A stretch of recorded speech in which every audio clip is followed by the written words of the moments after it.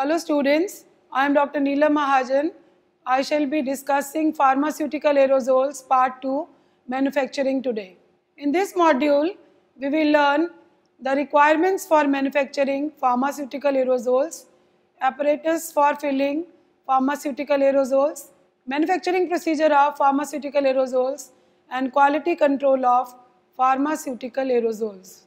Requirements for the preparation and packaging of pharmaceutical aerosols include special knowledge, skills and equipment, strict supervision and adherence to rigid quality controls, modification of the quality control system to account for the fact that part of the manufacturing operation is carried out during the packaging operation, the equipment used for compounding of liquid suspensions, emulsions, creams and ointments.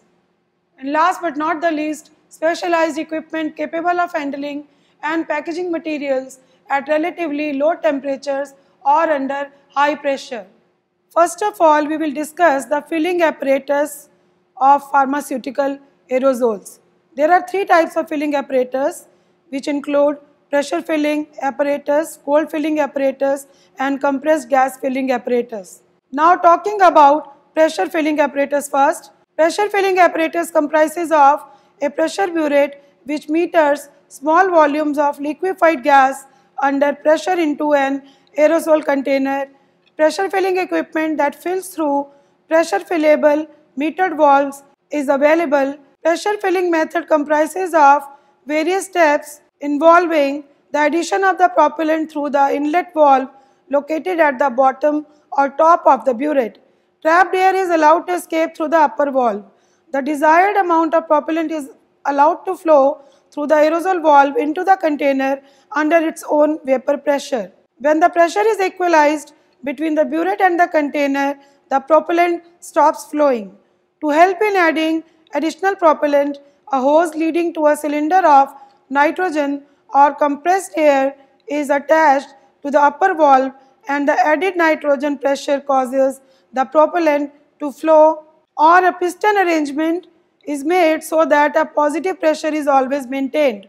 Now talking about cold filling apparatus, it comprises of an insulated box fitted with copper tubing that has been coiled to increase the area exposed to cooling. The unit must be filled with dry ice or acetone prior to use. This system can be used with metered valves as well as with non-metered valves. However, it should not be used to fill hydrocarbon aerosols because an excessive amount of propellant escaping and vaporizing may lead to the formation of an explosive mixture. Fluorocarbon vapors do not form explosive or inflammable mixtures. Now the compressed gas filling apparatus. Compressed gases can be handled easily in the laboratory without the use of elaborate equipment. Since the compressed gases are under high pressure, a pressure reducing valve is required. A flexible hose is attached to the delivery gauge and is capable of withstanding about 150 pounds per square inch gauge pressure and is fitted with a filling head. More elaborate units utilize a flow indicator between the gauge and the flexible hose. Working of the equipment for filling aerosols with compressed gases involves various steps including the placement of the concentrate in the container, the crimping of the valve in place, evacuation of the air by means of a vacuum pump, insertion of the filling head into the valve opening and the depression of the valve so that the gas is allowed to flow into the container. When the pressure within the container is equal to the delivery pressure, gas stops flowing. Then the container is shaken manually during and after the filling operation with mechanical shakers to obtain maximum solubility of the gas in the product. For products requiring an increased amount of gas or for those in which solubility of the gas in the product is necessary, carbon dioxide and nitrous oxide can be used. After having discussed the various filling apparatus used for pharmaceutical aerosols, now it is a turn to discuss the large scale equipment used for the manufacturing of pharmaceutical aerosols. The large scale equipment comprises of concentrate filler, valve placer, purger and vacuum crimper, pressure filler and leak test tank. Now talking about concentrate filler first, production schedules decide the type of filler required and include single stage single hopper, large straight line multiple head filler or a rotary type multiple head filler. Majority of these fillers deliver a constant volume of product and can be said to give a complete fill in one or more operations. Generally, only part of the product is added at each stage assuring a more accurate fill. Now talking about valve placer.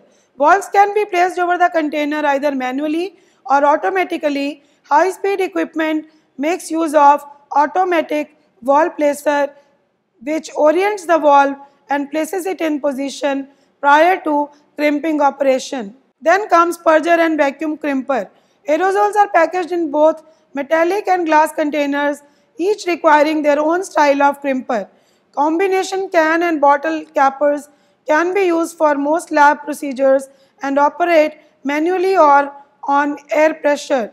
These are capable of producing more than 10 to 12 cans per minute. Most crimpers serve dual function that is to evacuate the air within the container to about 24 inches of mercury and then sealing the valve in place. Single head crimpers or multiple head rotary units capable of vacuum crimping up to 120 cans per minute are available.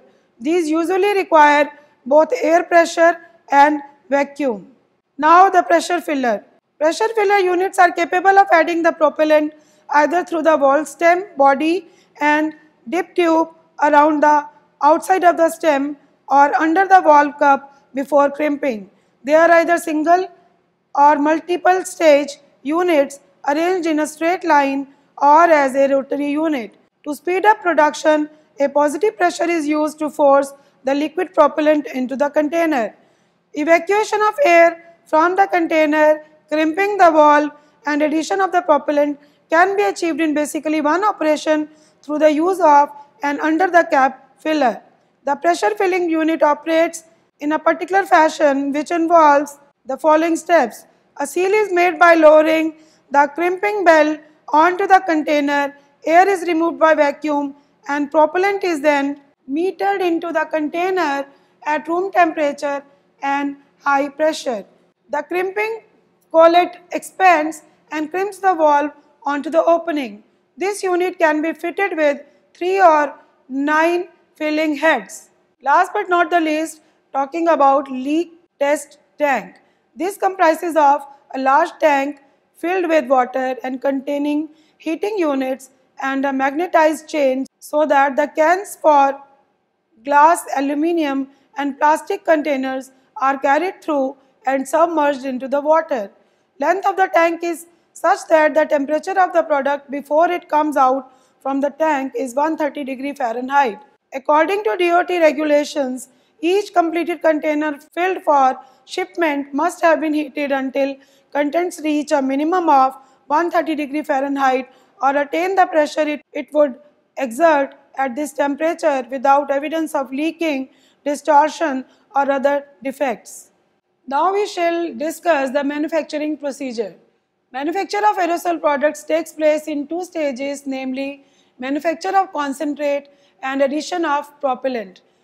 Therefore, partially manufacturing operation takes place during the filling operation. Special quality control measures are required during filling so as to ensure that both concentrate and propellant are brought together in proper proportion. This we have discussed in introduction.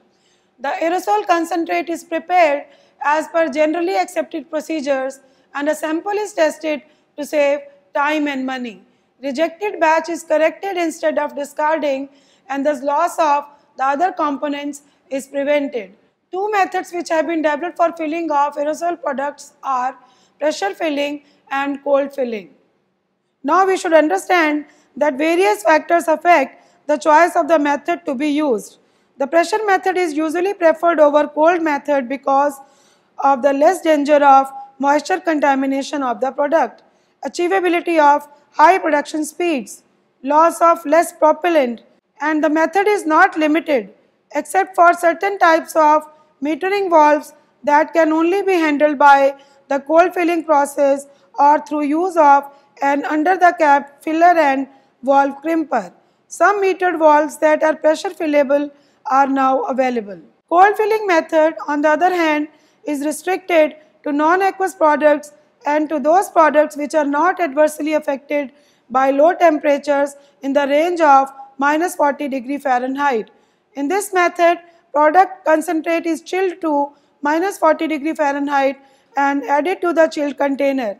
The chilled propellant is then added in one or two stages depending on the amount. An alternating method of cold filling is to chill both the concentrate and propellant in a pressure vessel to minus 40 degree Fahrenheit and then adding their mixture to the aerosol container. A valve is then crimped in place. Container passes through a heated water bath in which the contents of the container are heated to 130 degree Fahrenheit to test for leaks and strength of container. Container is air dried, spray tested if necessary, capped and labeled. This filling method is no longer used to any great extent and has been replaced by the pressure filling method. Meter dose aerosols can be filled by either of the processes. Presently, the pressure filling method is comparable in rate of production to the cold filling method. Concentrate is added to the container at room temperature and the valve is crimped in place. Propellant is added through the valve or under the cap. This step is slow and limits production, but addition of propellant around and through the valve stem using rotary filling machines and newer filling heads increases the speed.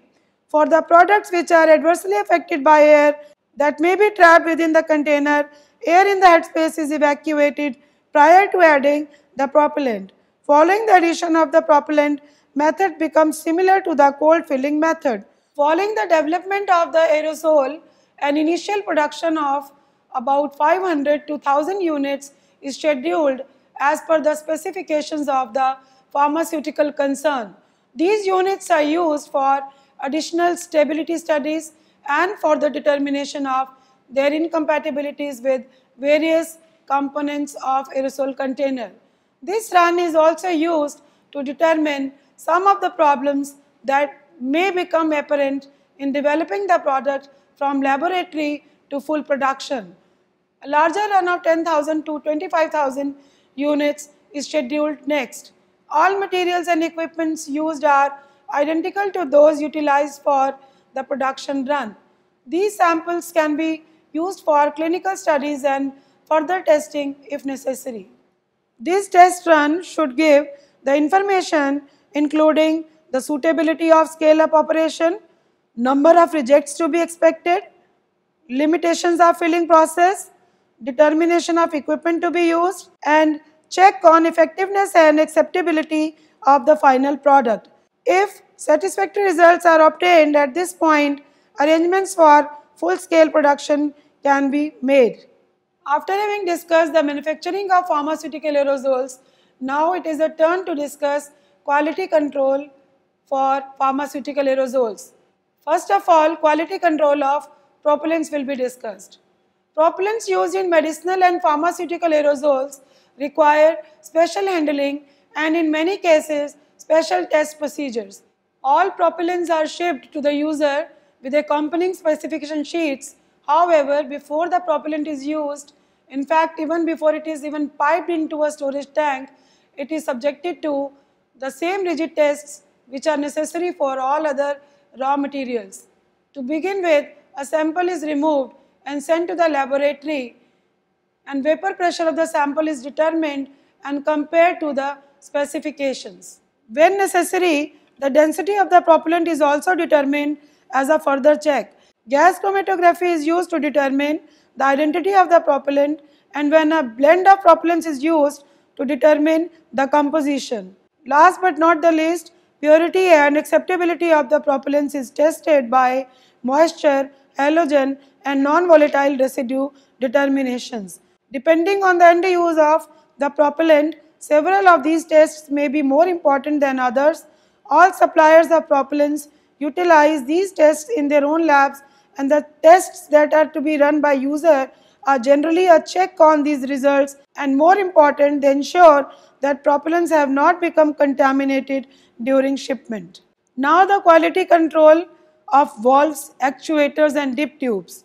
These parts are subjected to both physical and chemical inspection and the problem is more complex than with non-aerosol components because a valve is a multi-component assembly comprising of various parts made to close tolerances. Examination at this point of these parts must determine whether the valves are fit to be used or not. They are sampled according to standard procedures. A manufacturer of aerosols actually assembles valves using component parts having similar tolerances to ensure that parts having minimum tolerance do not engage with parts approaching maximum tolerance.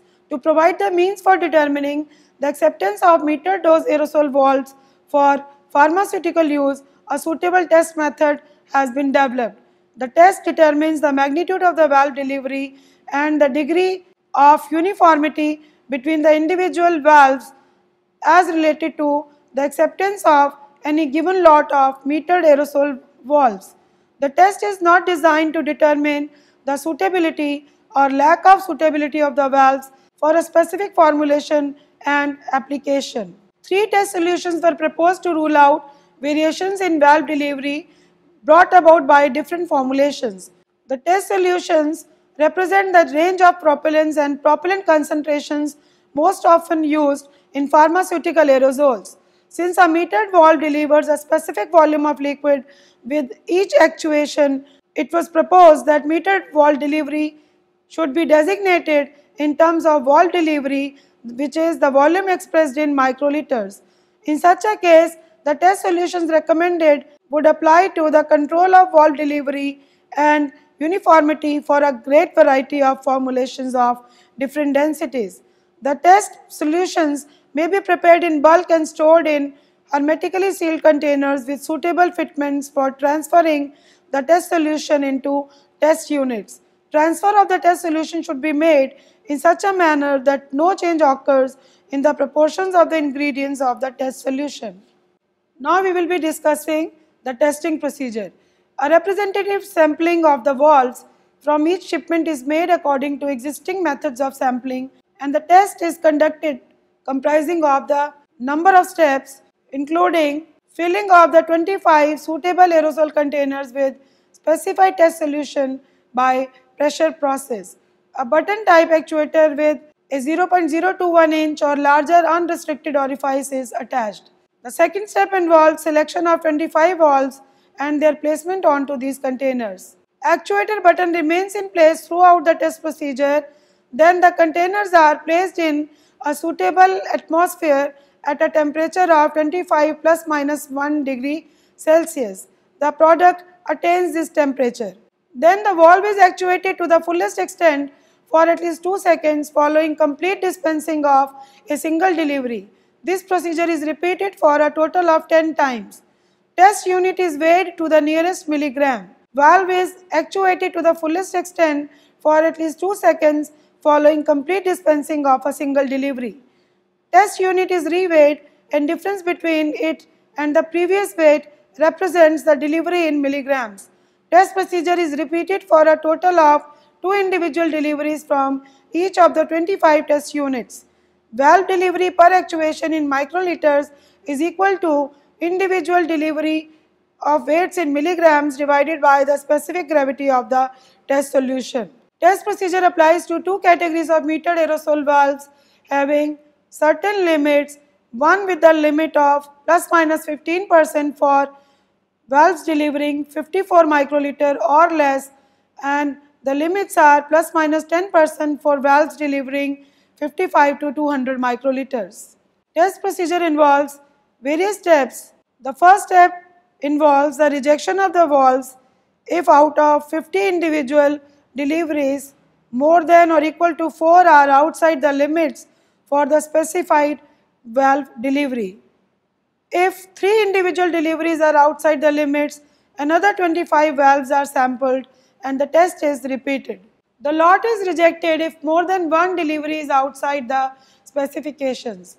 If two deliveries from one valve are beyond the limits, another 25 valves should be taken.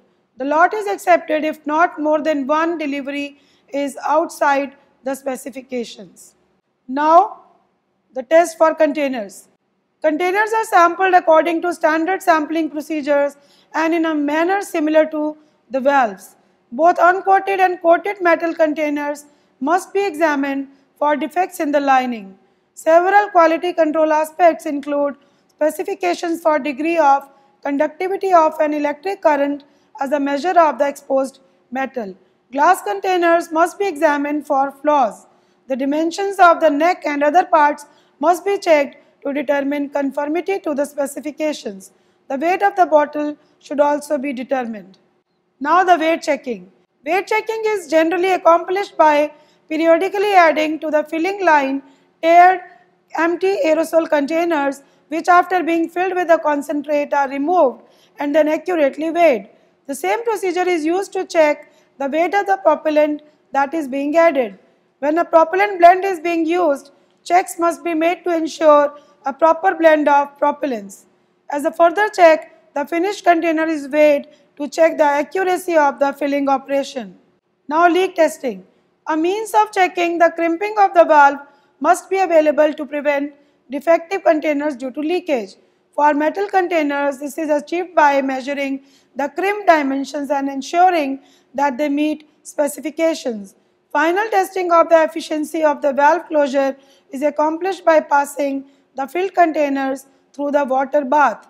Periodic checks are made of the temperature of the water bath and these results are recorded. Now spray testing. Many pharmaceutical aerosols are 100% spray tested.